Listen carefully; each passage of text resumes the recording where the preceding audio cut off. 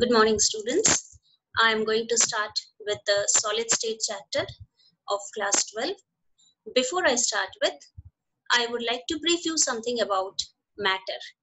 Matter is anything which occupies space and has got mass. All of you know about it, right? You're knowing about it. So matter we can classify into two types, physical classification and chemical classification. Physically, we classify matter into three types.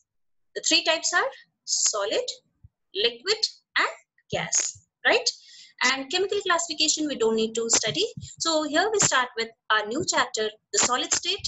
And before we go for it, let me show you some of the slides. And with the help of slides, we'll go ahead. So firstly, we start with the general characteristic features of solids.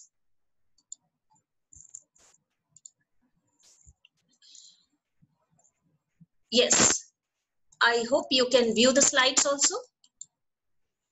They possess definite shape and definite volume. The constituent particles are very closely packed, that is, interplanar distances are very small.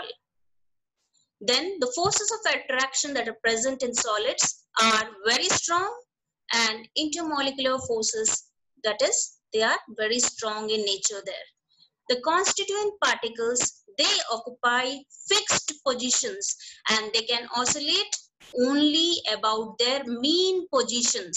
That's why we say that solids are rigid in nature. The question might come, why are solids rigid in nature? Solids are rigid in nature due to the presence of strong intermolecular forces of attraction which are present among them and they the constituent particles that are present have fixed positions and they can oscillate only about their mean positions.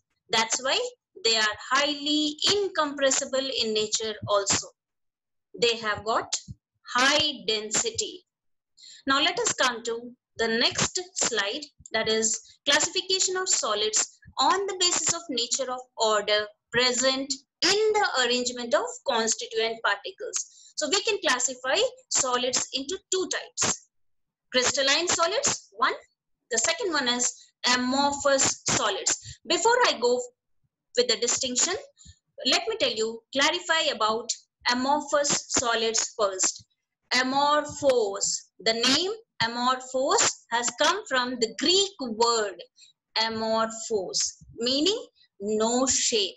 That means amorphous solids have no definite shape, whereas crystalline solids have got definite geometrical shape. That is the main distinction between crystalline solids and amorphous solids. In our lab also, you, be, you will be given some of the salts and looking at the nature, just by looking at it, you need to differentiate that which is the crystalline ones and which is the amorphous part.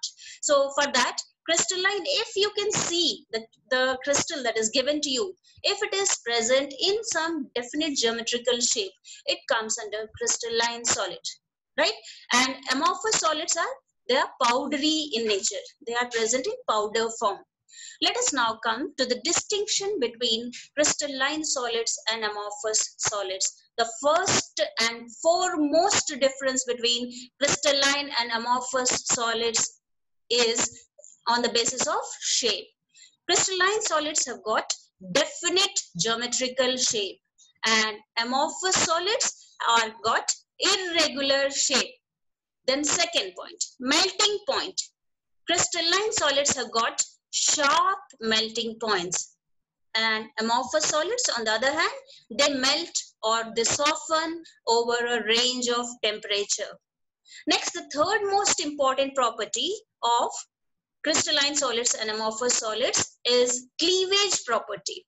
So in cleavage property, when you look at the crystalline solids, when you cut it with a sharp knife or with a sharp edged tool, the crystalline solid will split into two pieces and they generate plain and smooth surfaces there. Whereas in amorphous solid, when it is cut with a sharp edge tool, that is with a knife, they cut into pieces with irregular surfaces. I hope it's clear till here. Then let us look at the fourth point, heat of fusion.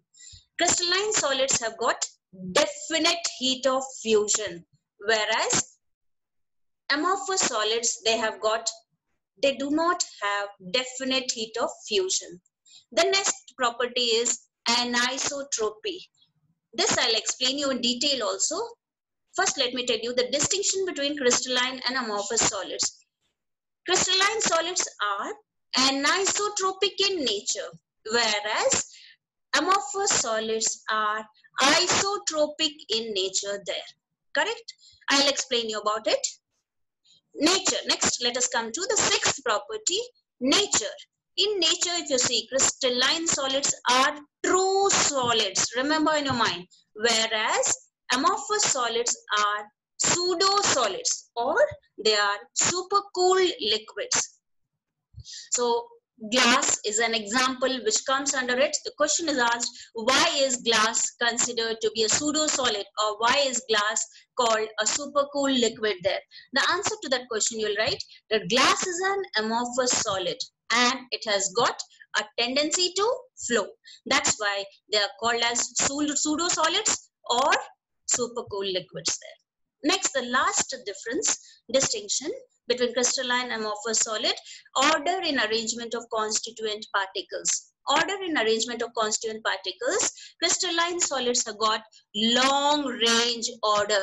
Long range order means the constituent particles are present in a definite geometry. They give definite geometrical shape to the crystal there.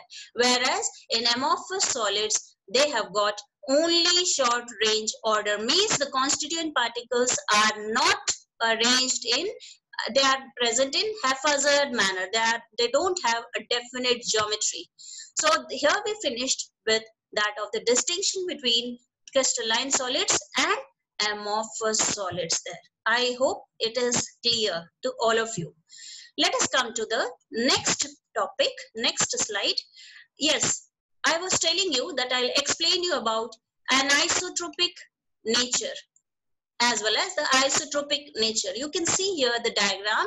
Crystalline solids are anisotropic in nature. Why? Because if you look at some of the physical properties like electrical resistance or refractive index, they show different values when measured along different directions there. That is, if you see the electrical resistance or refractive index value, the physical properties, they generate different values when measured along different directions in the same crystals there. You can look at the diagram also. You can see with the help of the diagram, you can understand that they generate different values along different directions there. Whereas amorphous solids, if you see, they are isotropic in nature, meaning when you look at the physical properties there physical properties like refractive index electrical resistance when they are seen they generate same value along any direction there right? That is the main difference between crystalline solid and and your amorphous solid. That is crystalline solids are anisotropic in nature whereas amorphous solids are isotropic in nature. I hope it's clear. The difference is clear. Yes, look at the in-text questions. The first question in text which is there is why are solids rigid? Please listen to my answer very carefully. I'm just giving the answer and in your assignment, you will be answering these in-text questions there. Solids are rigid in nature because they are held together by strong intermolecular forces of attraction and the constituent particles that are present they have fixed positions and they can oscillate only about their mean positions. That's why solids are rigid in nature. I gave you the general characteristics of the solids there right? So that's why that point you will include here solids are rigid in nature. Second question you see, why do solids have a definite volume? The same answer again you can repeat. Solids have a definite volume due to the presence of strong intermolecular forces of attraction which are present in between them. Now look at index question 1.3. Classify the following as amorphous or crystalline solids. Now see here, I forgot to tell you that amorphous solids, they don't have definite shape. They The geometry is it is they are arranged in haphazard manner there. So for amorphous solids the examples will include all polymers rubber plastic polymers. They all come under amorphous solids. Whereas for crystalline solids ionic solids most of them will come under the examples for crystalline solids here. So for amorphous solids in this question 1.3 i am giving you the examples of amorphous solids. Polyurethane teflon cellophane, polyvinyl chloride, and fiberglass. These come under examples of amorphous solids. I repeat, polyurethane, Teflon, cellophane, polyvinyl chloride, and fiberglass. Whereas crystalline solids, naphthalene, benzoic acid, potassium nitrate, and copper they come under the examples of crystalline solids. Next question. Why is glass considered a supercool liquid? Glass is considered a supercool liquid because glass is an amorphous solid. That is the first and foremost point you'll write.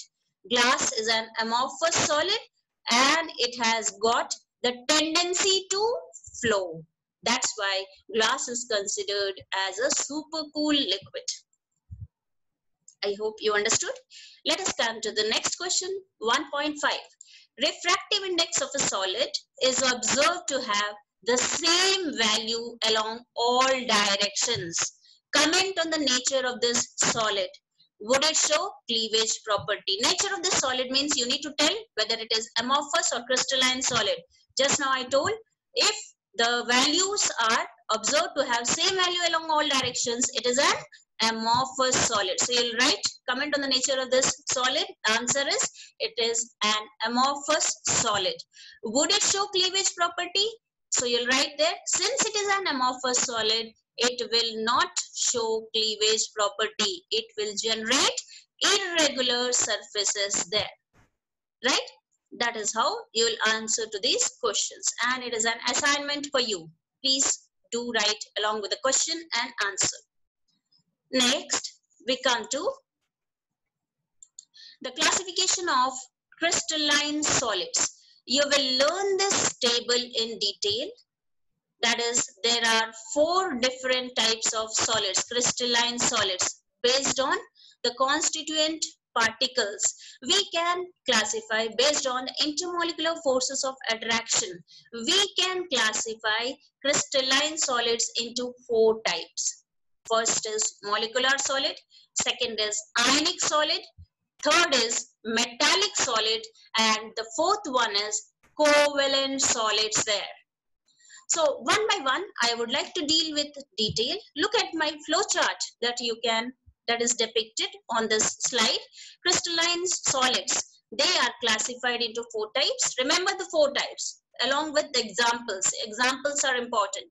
Molecular solids, ionic solids, metallic solids and covalent or network solids there. Molecular solids are further classified into three types. Three types. Non-polar solids, polar solids and hydrogen bonded solids there.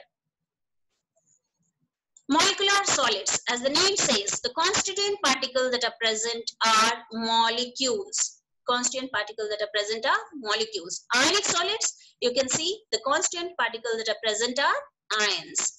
Metallic solids, the constituent particles that are present are positive ions as a sea of delocalized electrons. So positive ions are the constituent particles for metallic solids. And for covalent or network solids, it is they are atoms that are present as constituent particles. So one by one, let me deal with molecular solids first. Molecular solids are classified into three types, as I said before, non-polar, polar, and hydrogen bonded molecular solids. Non-polar molecules says that the, there is no polarity that is present in the molecular solids there. They do not carry dipole moments on them. And the attractive forces, that is the bonding that is present in non-polar molecules are either dispersion forces or London forces there. Examples you can see, all non-polar examples, they are non-polar in nature argon, carbon tetrachloride, hydrogen, iodine, carbon dioxide, etc. You can give the examples. Physical nature, if you see, they are soft in nature. Electrical conductivity, they act as insulators there. And melting point, it is very low there. Second, I come to polar molecular solids. The bonding, the attractive force that is present in between them constant particles or molecules. The bonding attractive force that is present in case of polar molecular solids are dipole-dipole interactions. And the examples which come under this polar molecular solids are HCl, sulfur dioxide, SO2, etc. They come under polar molecular solids. Physical nature, it is soft and they act as all molecular solids are insulators and the melting point are very low. Next, hydrogen bonded molecular solids. You have read this in class 11. Hydrogen bond is a very weak bond that is formed between the most electronegative element and the most electropositive element. The electropositive element that is usually present is hydrogen there. So the bond, a weak bond that is formed between the most electronegative element and the most electropositive element is called a hydrogen bond, right?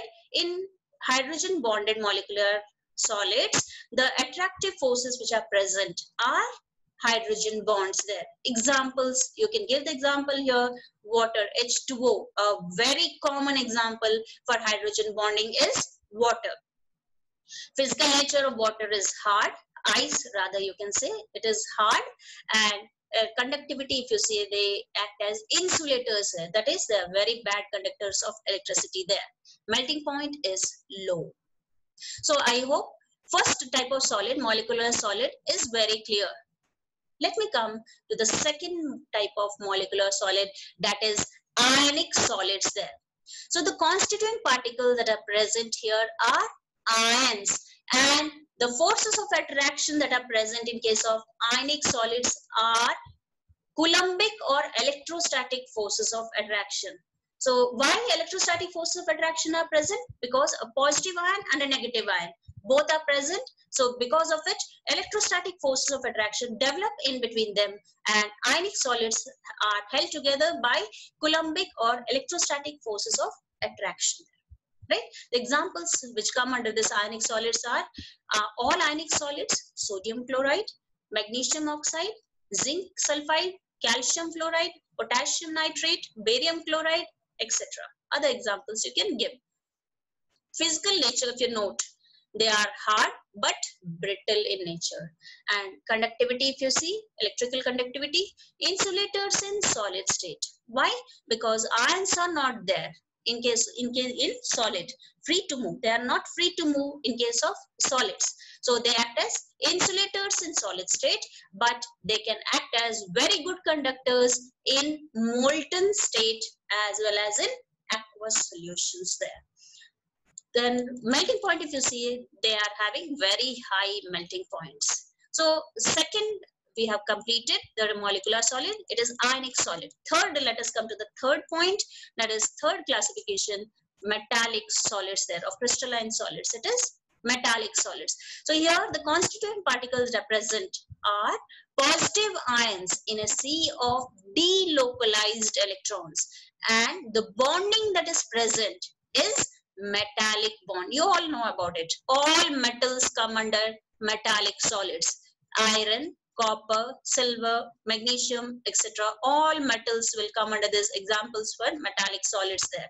They are hard but malleable and ductile. I hope you know malleability. Malleability is they can be beaten into sheets and they can be drawn into wires there. So they possess the characteristic features of metals there. If you look at the conductivity, they are conductors in solid state as well as in molten state and the melting point is fairly high. I hope I'm clear with the third point. Let me now come to the fourth type that is covalent or network solids there. Here the constituent particles that are present are atoms and the bonding that is present, the force of attraction that is present is covalent bond that is present between them. Examples remember in your mind, it comes silicon dioxide, quartz, silicon carbide, SiC, carbon that is diamond form, aluminum nitride, AlN, graphite. These all come under the examples of covalent or network solids there. With an exception, silicon dioxide, carb, silicon carbide, diamond, they are very hard in nature.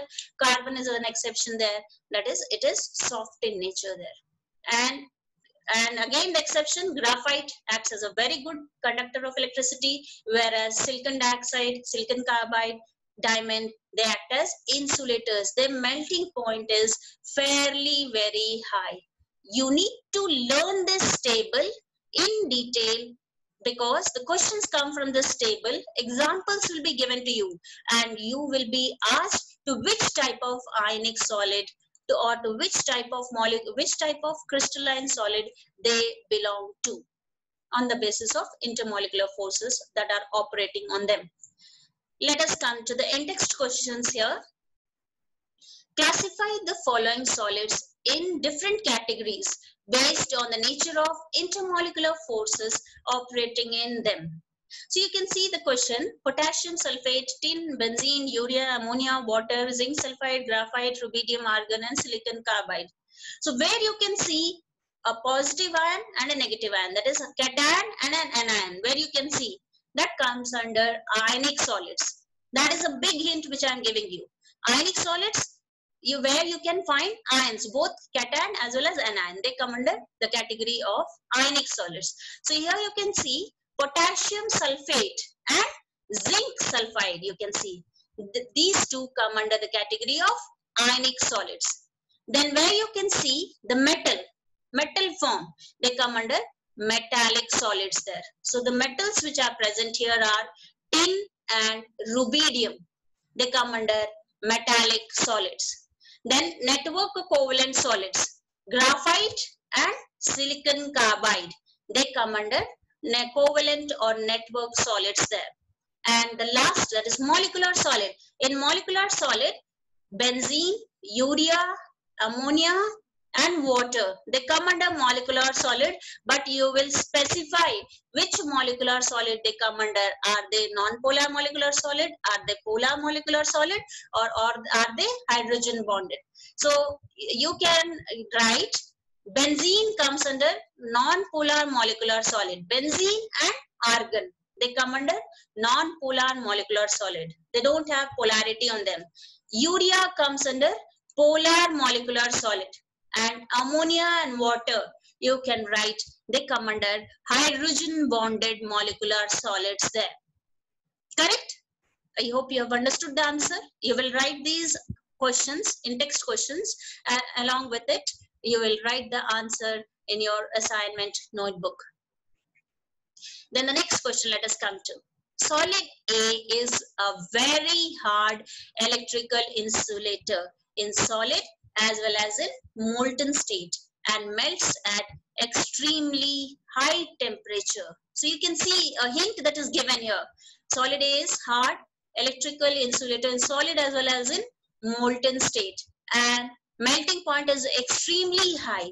What type of solid it is? So answer you'll write covalent or network solid. Just now I had shown you in the table there.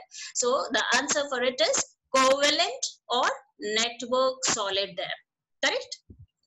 Example you can give silicon carbide, then aluminum nitride, graphite. Those examples you can include in it if you want to. Next, I come to the next question. Ionic solids conduct electricity in molten state, but not in solid state. Explain.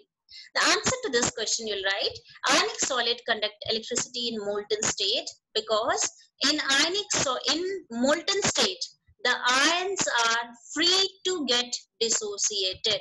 That means ionic solid get dissociated into their respective ions in molten state and ions are the carriers of electricity there. So since ions are the carriers of electricity, solid A that is a that is it in ionic solids in molten state they can conduct electricity but in solid state they cannot conduct electricity because ions are not free to move. They are held together by strong forces of attraction there. So in solid state, ions are not present, so they cannot conduct electricity. Ionic solids cannot conduct electricity in solid state there. Next, look at the next question. It is what type of solids are electrical conductors, malleable and ductile? the answer to this question, it is a big hint that is given here, malleability and ductility. So that characteristic feature is possessed by metallic solids. So you will write the answer, metallic solids. So here I complete with this part. Next part will start with the unit cell in the next lecture there. Thank you children. If you have any doubt, you can ask me